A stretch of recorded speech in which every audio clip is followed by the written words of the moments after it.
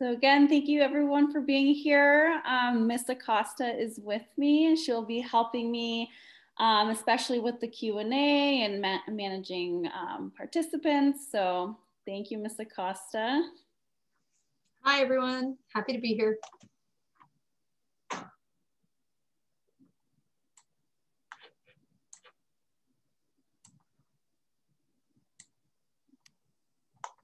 Okay. Do you think we're ready, Ms. Acosta? Yeah, I think we can begin. It looks like the folks that were going to come in at the beginning have come in, but people can still join us even if they're a little late. Okay, perfect. So again, welcome and thank you so much for being here. Um, I'm Miss Alcaraz. I'm the high school placement counselor. I'm sure most of you have spoken to me or um, we have met over Zoom. And then Miss Acosta is here as well. Hi, everyone. I'm fellow eighth grade parent going through the same as everybody on this call. and uh, the director of development for the school. I'm really happy to be here to support Ms. Alcaraz. Okay, so first, oh, first I definitely want to reflect on this year's admissions process and just recognize and name that it has been a difficult year um, throughout this process. It's definitely definitely not what I don't think any of us envisioned. Um, so I do want to name that you know remote work is still new, it's still challenging, and especially going through this high school admissions process at home, I'm sure is um, you know has its up and ups and downs. Um, but thank you so much for your continued patience and collaboration, um, supporting your children and um, communicating with me as well. So I'm excited to talk about all the new changes this year. And of course, if you have any questions, please go ahead and put them in the Q&A or in the chat and um, we'll answer them at the end. So again, just an overview of the high school process. It is a collaborative process. Um, as you have seen, I've been sending home uh, newsletters, weekly, weekly newsletters or emails on any updates that I receive or online flyers like the one that you got for this webinar. Um, so through those uh, communications, you'll see that I try to list as many open houses that I can um, any virtual school tours that are going on, um, test dates, audition dates. Um, in the newsletters, I do highlight a school just to give families an idea of what schools are out there. Um, and then we also try to update the high school webpage as much as we can. And the New York City DOE high school website is also a great resource to use if you do need more information.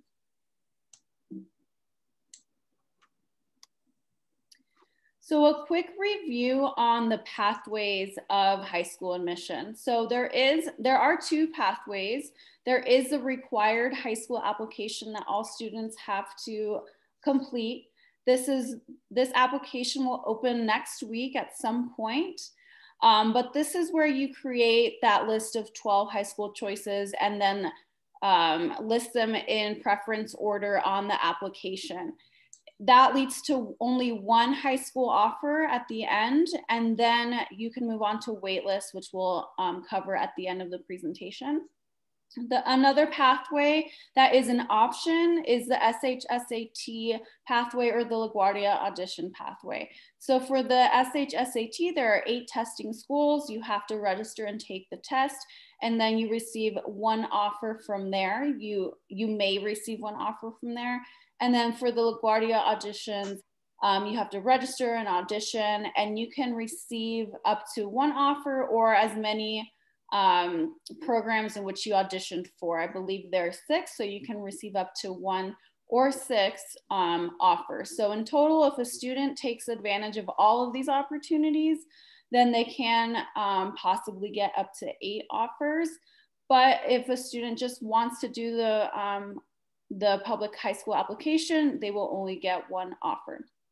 Other options other than public high schools are charter high schools, private schools, and Catholic schools. So if you're interested in any of those other types of schools, please let me know and I'll definitely help you with that. And then on the bottom, you'll see on the right-hand side, all of the um, SHSAT schools listed, plus the LaGuardia school separately on the bottom.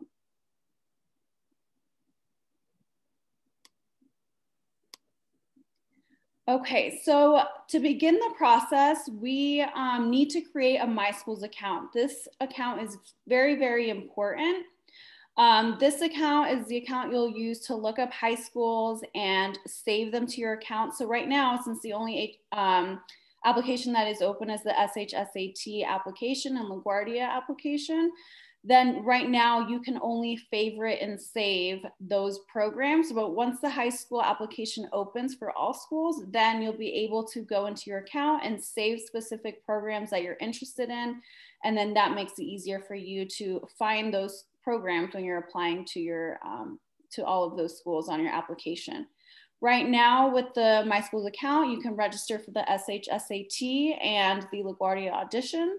This account is also what you'll be using to see your results when they come out and see the waitlist options over the summer. So this is where it's gonna um, be most important because you'll need access over the summer if you are interested in waitlist, which again, we'll talk about at the end. So what you will need is the account creation code. This was sent to you from the DOE to your mailing address, but if you don't have it, let me know and I can go ahead and send that to you. You'll need your student's ID number and then a working email address that you check regularly.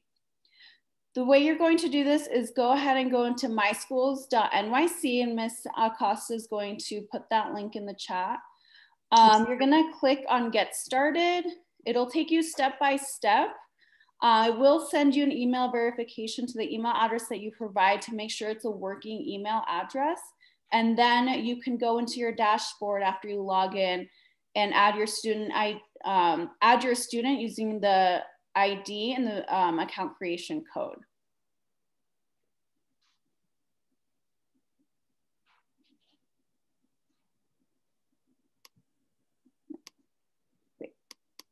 Perfect. Okay. Now, after you have created your account, you can search for My School. Uh, you can search for schools on the My School um, online directory. So you don't necessarily need an account to search on the online high school directory, but again, it can be helpful because you're able to favorite or save programs that you like to your profile. Um, the online high school directory, whether you're whether you're logged in or not logged in, can be found on the bottom of the page once you go to My Schools or on your account.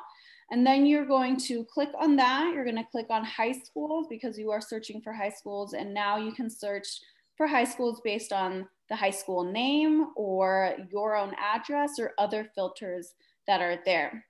Um, some important information to look for is, you know, the location. Are they going to make it in time? And something that's helpful is on my schools, when you look at the map, there is a directions button. So you can actually go in there and see how far it is from your house or what trains or buses you may have to take.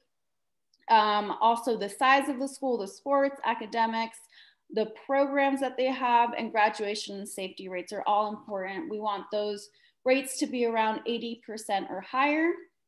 And again, there are 12 spots on the application and we do recommend to fill out all 12 spots if you want your child to, you know, attend a school that they're interested in, but also um, some families don't want their children to go to a zone school. So if you would um, like for them to not go to a zone school, I definitely recommend using all 12 opportunities for that if you choose more than uh, one program at one school, um, then that's going to be more than one spot on the application. So, for example, Long Island City High School, um, they have, I think, up like six programs. So, if you want to apply to three of those, then that will be three spots on the application.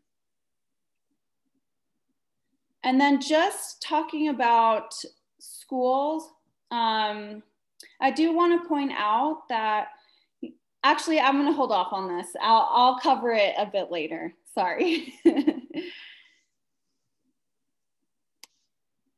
okay. So here is an example of what you might see when you're on My Schools. At, at the top here, you're gonna see the search bar. You're gonna see that you can use these filters here. Um, there's more filters if you click on this. Um, but it, this is very helpful if you're starting to look for schools. Um, you, this is what you might see here on the left, the size the, of the school, the time, the overview, um, maybe the buses and the subways that go there.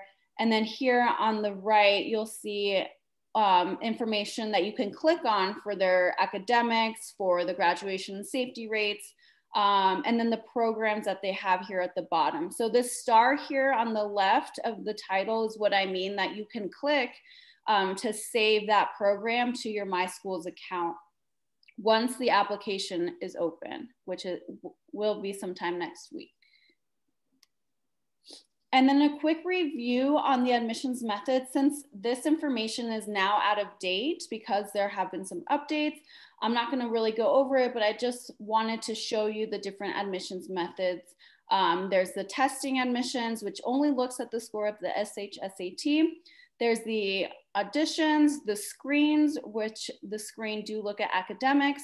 There's the educational option, um, then we have screen language where these programs do require you speak um, a specific home language or perhaps um, that you're an ELL student. Um, we don't need to worry about transfer admissions. And then we have zoned, which is dependent on where you live and your address. And then we have the open admissions, which is um, the admissions method that's like a lottery. They don't look at any background information. So the admissions for 2021, um, I'm going to start with the SHSAT admissions and the LaGuardia auditions. So for both of these students will register online through their My Schools account or through the school counselor. I know there have been some issues with the website, so if you are having issues, please let me know. The deadline is this Friday um, on the 15th.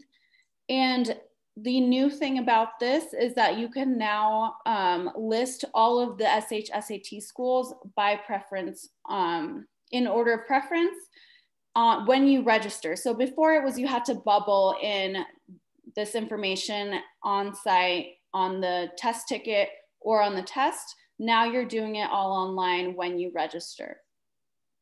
Um, you, you will also select what days your child can or cannot test. So it's going to either be on a Saturday or a Sunday, but if you have something coming up or um, for religious reasons that your child cannot test on a Saturday or Sunday, that's gonna be an option for you. And if you ask me to register you um, and you do have something on one of those days, please let me know so that we can update that for you.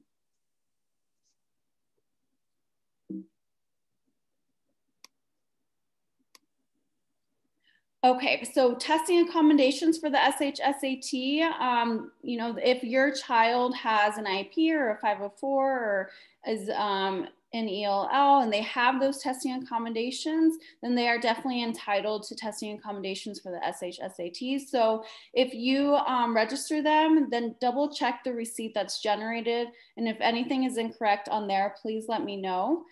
Um, when test tickets are available, you'll be able to download them from your My Schools account. Um, on those test tickets, you'll see the school order, so the order of preference. You'll see the date, the time, and the testing site. They will be in person. Um, there's no virtual option. And they may require COVID testing. I think they were talking about that. And more information on that will definitely be coming. Um, and then again, on the ticket, you'll see accommodations if your child has any testing accommodations. The test will take place either the last weekend in January or first week, first weekend of February.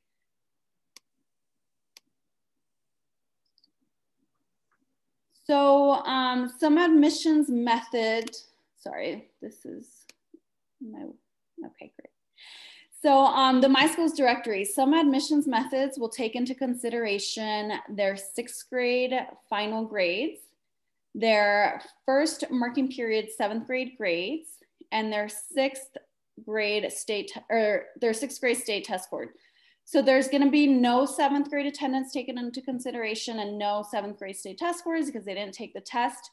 So each school, each screened program is going to um, have their own individual plan or requirements that are coming in mid-January. So right now, schools are coming up with a plan on what they will be looking at, what grades, or if they're going to be looking at the state test scores or not. And in mid January, everything should be uploaded and updated on the My Schools account.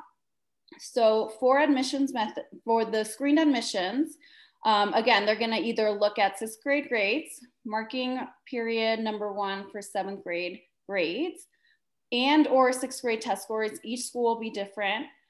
Um, and then some like Beacon or BARD normally have additional requirements like portfolios or assessments or interviews. So those still may, may be still taking place. Um, again, we just don't know the finalized plans for each school until they're uploaded in My Schools and that should be coming in mid-January. For audition programs, they will be all they will be virtual, all of them will be virtual. No academics will be taken into consideration. Um, you will be uploading an audition video by sending it into um, this email that I will provide. I believe it's on the next slide. And students will then be ranked based on priority, admissions priority, and their video submission. So the criteria that the school has um, for the video submission. The only audition program that will be looking at um, grades will be LaGuardia. So they will be looking at academics.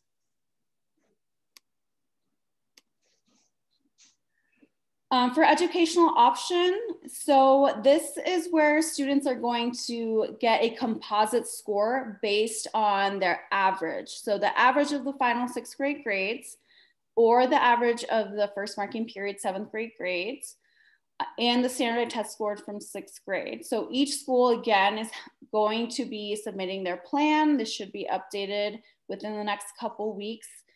Based on the scores that they're given, um, they're gonna be placed in the high, middle, or low category, and then offers will be given randomly to one third of students in each category. So that's how the ed opt option is working this year. You don't need to um, do any extra steps besides put them on the application. Um, so that, that part is still staying the same, but that's a little breakdown of how the ed opt option is gonna work. And then zone admissions, your student always has a spot at their zoned program. So that doesn't change. Normally that's Bryant or LIC. Um, and then open admissions, that's already random, that's staying the same. And then screened language admissions, that again, you there are some requirements based on home language or um, ELL status.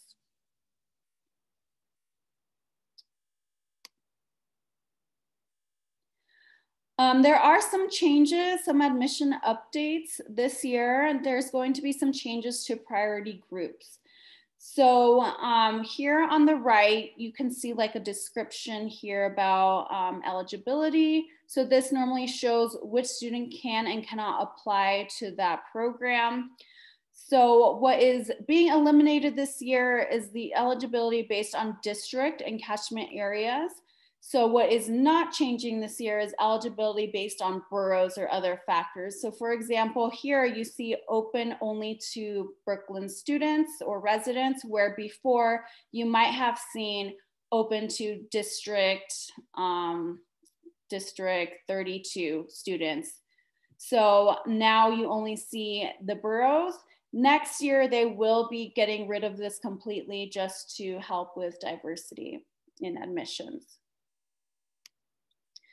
Priority groups, there's also a change to the priority groups. So normally priority groups show what students are considered for an offer and in what order.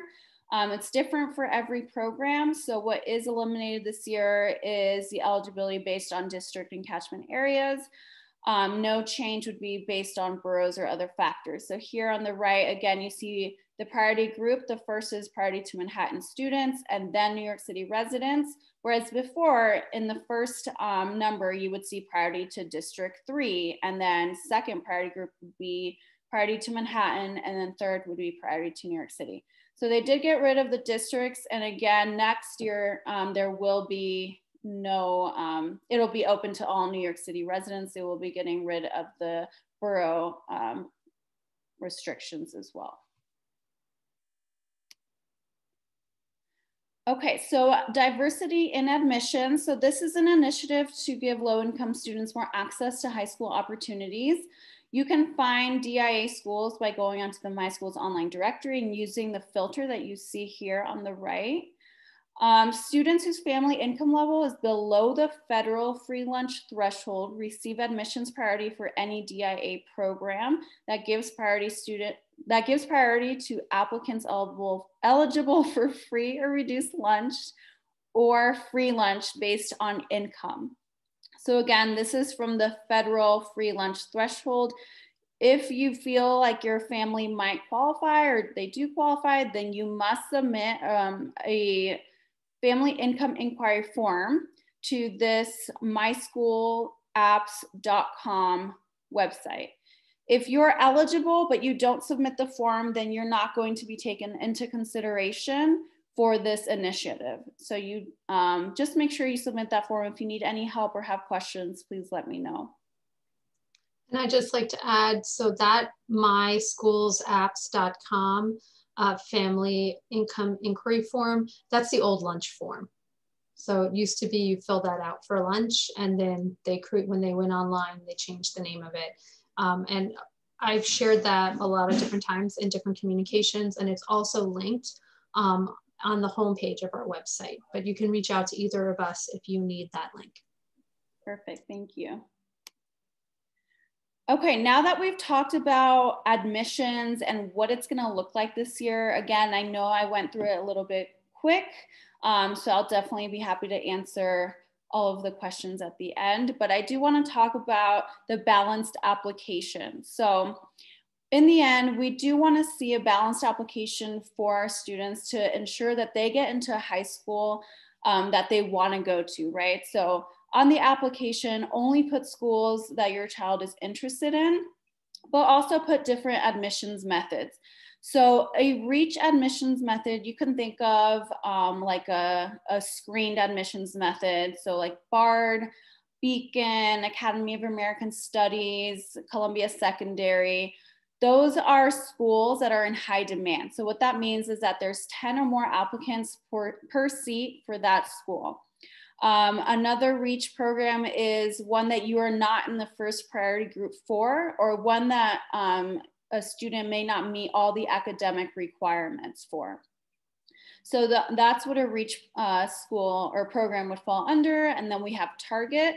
So that means that the demand is about four to nine applicants per seat or you're in the first priority group. So for a, a school that only admits um, first priority is Queen students, then that would be a target school for you. And then um, another, re, uh, your academics are in the middle of the ranges. So sometimes schools will have a range of scores that they're looking for of grades. So if your child has a score an average in the middle, then that's gonna be a target program for them and then a likely program. So this is a program that's lower in demand, three or fewer students per app, uh, applicants per seat, and you're in the first priority group or the admissions method does not use academics, so like an open admissions method, or your child is on the higher um, end of the ranges of what's required. So we definitely wanna see just a balanced application. Make sure you rank your schools in true order of preference. This is because um, when the DOE gets the application, they always try to match students to the first choice. So if that first choice is no longer available and they don't have any more seats, then they're gonna go to the second choice. Um, if that is all taken up, then they'll go to the third and so on until they get a match. Um, so you definitely wanna make sure that your list is going in true order of preference. And something that I wanted to point out, which I kind of touched on earlier was that it is possible that we work really hard on the application and you have a balanced application. And in the end the DOE will place you at your zone school or give you a school that was not on your application but it's around your um, home address. So that is rare but it can happen. And in that situation you know we definitely work together to try to find other options for you if you're not happy with that or um, get you on the wait list which i will um, explain in a bit Ms. Alcaraz, we actually have a question that I thought um, is a little relevant to what you were, we have a few questions that have come in, but this one uh, specifically, um, it's a little bit long, but I think uh, it's a really interesting scenario. So the parent wants to know, what if when completing an application for a school that I over, that I, the parent, the student, overlooked the eligibility requirements? Will the application go through or is it flagged that by the My School system? Are they notified about being not eligible for that program. They just want to make sure that they're not going to submit an application and have a school on their application that they're, they, they don't qualify for. So the only time a application has been flagged is when someone has applied to a program where it's only available to 10th graders. Um, there is a program at Queens Tech that only 10th graders can apply to. And if that happens, then I do get a message from the DOE saying um, these students applied to programs that were only available for 10th graders. Um, would you like to make changes? Um, so that's the only time if you apply to a program where maybe um, you don't meet all the academic requirements, or maybe it was um, priority group to Manhattan instead of Queens, it will not be flagged because you can still apply to those schools. Um, even if it's uh, you have to live in Brooklyn and you don't because of the priorities. So let's say it's priority to Brooklyn and then New York City because it's open to all of New York City, it won't be flagged. Does that make sense? So um, I guess then uh, for our families to ensure that they are not putting a school on their application that they're not in that priority group. Um, what can they do to make sure that they're they're when they go through those steps that they're they're putting schools on the list that are um, they're eligible for and and uh, their their student will actually be considered for. So that's when it's going to be really important to look at the priority groups when you're looking at the school in the My Schools online directory. Um, also looking at the eligibility description. Um, that's where it's going to be really, really important. Of course, you can always try if it's a program that you're really, really interested in, you can always go ahead and try and put in an application and maybe um, you will be placed there. But um, I would definitely say to make sure that you're just double checking um, all of the requirements when looking up schools on the My Schools website. And if, again, if anyone needs to make an appointment or has questions um, after this presentation, I'm always happy to answer those. Okay, great. So I'll continue. Um, so just looking at the timeline right now, before the application opens next week, what should family do, families do? So families should create their My Schools accounts. Again, this is really important step. Um, you should be exploring schools and programs through the online high school directory. You should have a list of at least 12 schools so that when the time comes, you know uh, what schools you want on the application. You should be attending virtual events um, and prepare for auditions. After the application opens next week, um, you can now add programs to the profile under the favorites, which is what I was talking about with the star on the left-hand side of the title of the program. Um, you can add programs to the application and arrange them in preference order. You can submit the application early or when it's due. The last day to change anything on the application is gonna be the 23rd of February. So that um, to me is the due date. So the 23rd of February. Um, if there are emergencies after that date, I, as a staff member, um, have about a week after that to make any changes. But for parents and families, that's going to be the last day to make any changes. The offers will be released in late spring, then the waitlist will open after that, and then in late fall, the waitlist will close. So a little bit about waitlists. Um, so waitlists give, give students an opportunity to be admitted to a different school of their choice. So sometimes what happens is we have the list of schools on the application and then later on, maybe something changes and a student um, isn't happy with the school where they were placed. So that's where waitlist gives them an option or an opportunity to go to a different school. So the way that this works is that the students will be placed on all waitlists above their placement on their application. So for example, if a student was placed in the fifth choice school on their application, then they will automatically be placed on the waitlist for schools one through four. Um, students can accept or deny waitlist offers. They can also, which I don't think it's on the slide, but they can also add themselves manually to other waitlists that they were not automatically added to. Um, so that can be like, for example, their 10th choice on their application. They're not going to be automatically added, but they can manually add themselves. And of course, schools are going to go um, in waitlist order based on ranks and um, priority groups. Um, once a student accepts a waitlist offer, they can no longer retract their acceptance. So once they leave a seat at a school, they cannot go back to that school.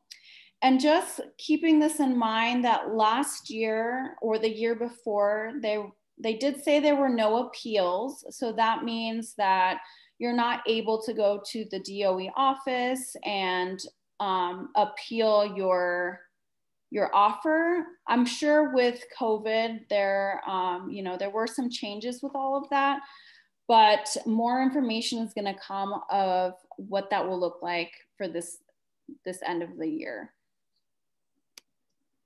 And then just some quick announcements. Um, there are some virtual admission events beginning on the 14th. And you can register at this link here. It's the schools.nyc.gov website. Um, there's also going to be some virtual art fairs beginning on the 21st. So if you're interested in art programs, you can uh, attend those. They're just going to go over again all the admissions, um, the processes, what to expect, and um, a lot of information. They're going to be there for questions as well. And then Energy Tech did send um, some new dates for their open house. Um, so I made sure to add those here. So I'll leave that up for a little bit. Um, but were there any questions, Ms. Acosta, that I could answer? Uh, yeah, we had a few, and one actually, this is the perfect um, segue for this question. Um, thank you, Celia, for your question. So some schools have not posted any open house dates or any videos about their programs. Do you think that some schools will simply not provide any additional information than what's already been published online? Um, I do. I think that since it's up to every school and what they're going to do, um, some schools, you know, um, the DOE is encouraging all high schools um, to post something to give parents an opportunity to see if that school would be a good fit for their child. But I do think that some schools may not be able to or um, just may not post any videos about um, what their school has to offer. Um, and all they are showing is just what's on the website. Okay, we thank you. We have another question uh, from parent Lisa Castagna. Uh, will grow, this is about um, the new grading with the whole sixth grade and then the sixth grade test scores in the 1st mm -hmm. semester of seventh grade. Will Growing Up Green create the composite score or does the high school you're applying to, do they make that score up? Like where does that score come from and then like where does it live anywhere specific? How does the new grading system at the new system that we started this past year how's how is that going to affect applications going forward? So it's really a two-parter. It's like where are they getting that information from and how does the high school see it? First part and then the second part is we are now doing um, a slightly different grading system here at Growing Up Green and how will that affect um, applications going forward?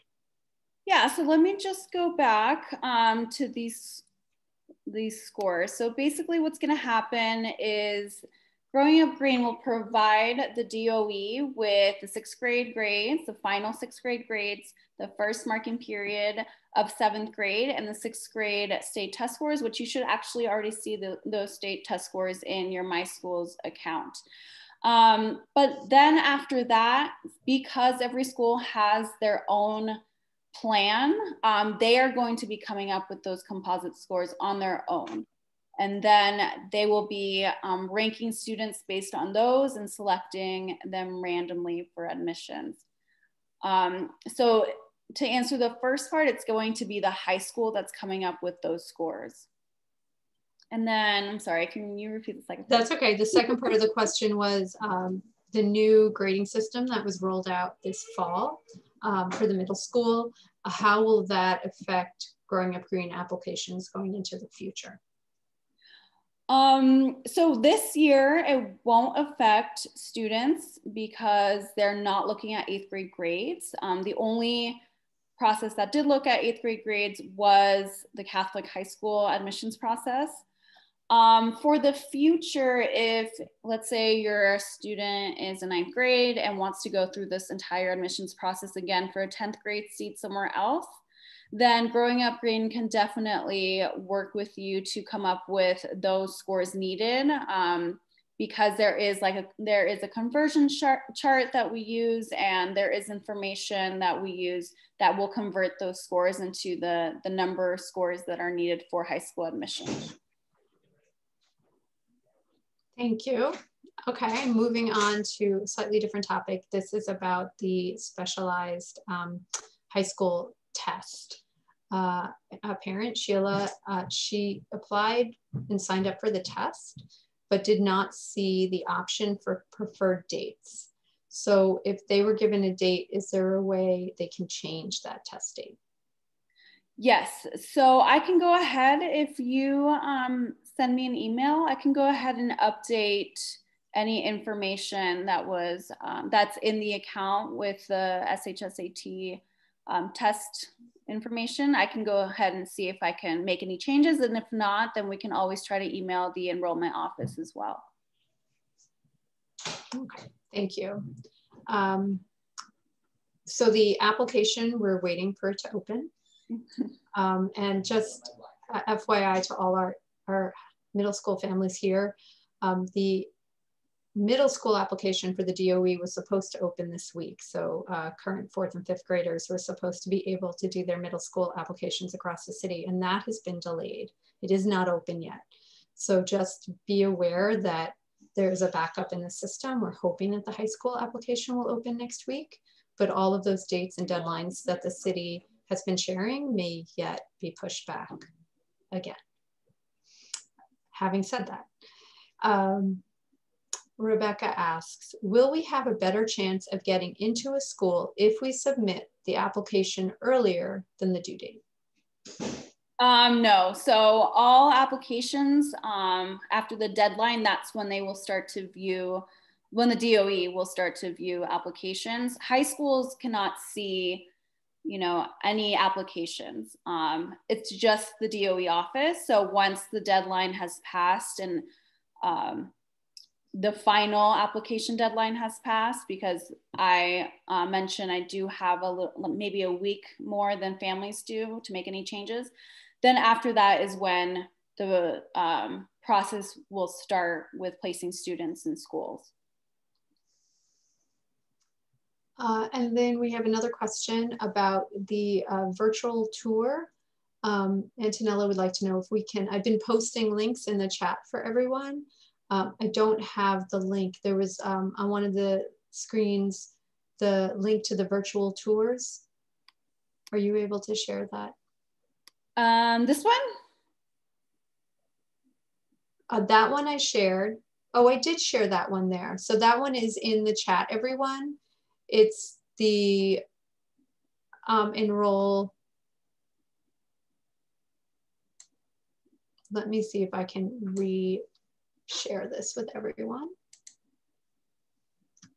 Yes, it's also on the um, schools.nyc.gov website um, in the enrollment section in the high school section. But if you can't share it, I can try to share it as well. Okay, um, Antonella is thinking that there might be a different link to the actual tours. Um, so this is going to, when you click on this, it'll be the New York City.gov page, the high school page. You do have to scroll down a bit and it'll say something like virtual events. And then it'll have like a link like register here for virtual events. And it'll take you to another page where um, you can register for a date. Okay, I just found that. I followed your instructions. So I'm going to put that. Let's see if people can see it. This is a really long. Yeah, it was very um, long. So I. Um, it's a form. That's why it's a link to a form. Yeah. I hope people can see that. I'm looking. It. Oh, great. Antonella said that works. Super. Okay, perfect. Um, did anyone else have any other questions? There are no more questions in the chat and there's no more questions in the Q&A. It is easier for me to see your questions in the Q&A if you would like to use that tool to submit a question. But either works. And then let me just pull up my um, contact information in case anybody needs this. Um, again, I know it can be a stressful process and be very overwhelming. So if you ever need to set up an appointment or a phone call or a Zoom meeting or maybe text or email works best, just let me know and I'm definitely here to support um, families. Well, it looks like that's it. We don't have any more questions in either the, the Q&A or the chat. Okay, perfect. So I'm going to stop recording.